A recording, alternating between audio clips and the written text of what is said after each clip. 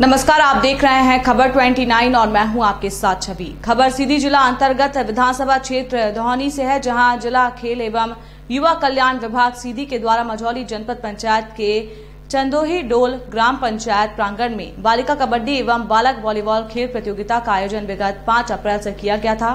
इसका समापन क्षेत्रीय विधायक कुंवर सिंह टेकाम के मुख्य अतिथि एवं ज़िले के पुलिस अधीक्षक मुकेश श्रीवास्तव की अध्यक्षता में संपन्न हुआ। यहाँ खेले गए बालिका कबड्डी खेल प्रतियोगिता में चंदोही डोल विजेता एवं पथरौला उपविजेता हुआ। बालक वॉलीबॉल प्रतियोगिता में परसली विजेता एवं मझौली उपविजेता रही, जिन्हें कप के साथ विजेता को इक्यावन सौ, उपविजेता को इकतीस सौ मुख्य अतिथि एवं अध्यक्ष द्वारा प्रदान किए गए। साथ ही भाग लेने वाली टीमों के प्रत्येक खिलाड़ी खेल में सहयोग करने वाले एवं उपस्थित पत्रकारों को स्मृति चिन्ह एवं गिफ्ट के साथ सम्मानित किया गया। इस खेल प्रतियोगिता में विधानसभा क्षेत्र के अधिकारी, कर्मचारी, गणमान्य नागरिक, भाजपा संगठन पदाधिकारी, प्रतिनिधि एवं कार्यकर्ता भारी संख्या में शामिल रहे।